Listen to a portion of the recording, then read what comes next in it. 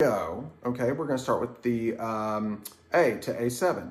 Okay, A, two, three, A7, two, three, D, two, three, D minor, two, three, A, two, three, one, two, three, D, two, three, D7, or D minor, and A, two, three, A7, two, three, D, two, three, D minor, two, three, rest, two, three, A, two, three, A7, two, three, D, two, three, D minor, two, three, A, two, three, A7, two, three, D, two, three, one, two, three, D minor, two, three, one, two, 4, B flat, two, three, four, five, six. C,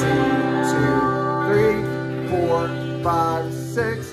C, two, three, four, five, six. B flat, two, three, four. Here's the part I was thinking about, C, C, two, three, four, five, six.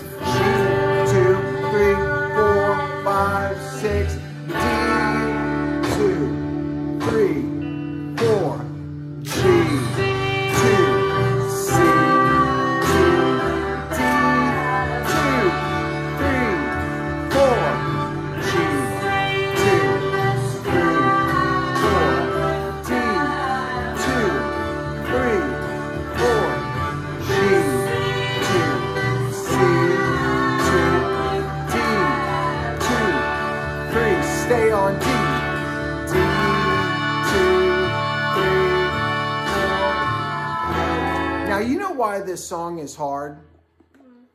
Because the time signature switches three times. So that what's a time signature is how you count a song. And you can tell that everything changes in this song a lot. Like this, you have the first part is in three,